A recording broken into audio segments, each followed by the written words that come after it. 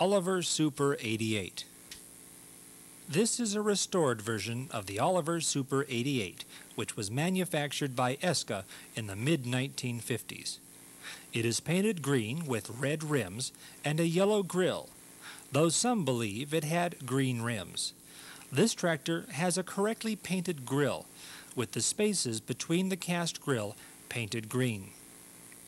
The pedal crank assembly and the rear axle must be installed with the tractor split apart. It uses a regular chain as opposed to a skip tooth chain like the small 88s.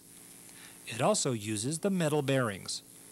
This is the first Oliver with a noisemaker. During the Eska years, the bolts should be painted on the rear hubs. Finally, we have a tractor with correct rims and tires.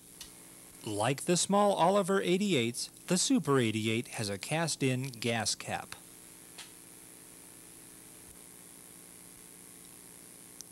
The decals for the Oliver are on the left side. Here is a closer view of the Oliver and a closer view of the Super 88 decals. The right side has the same two decals and the decals are on the correctly painted front grille.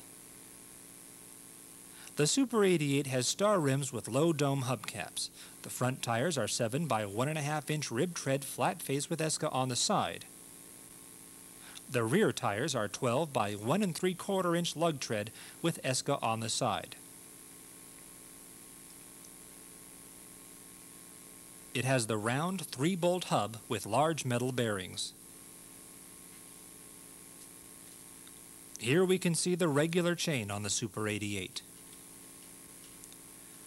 It has the same teardrop solid rubber pedals with metal ends and domed push nuts as the small 88s. It has the flat three-spoke die-cast steering wheel and the noisemaker. It has the H-pattern stamped steel seat.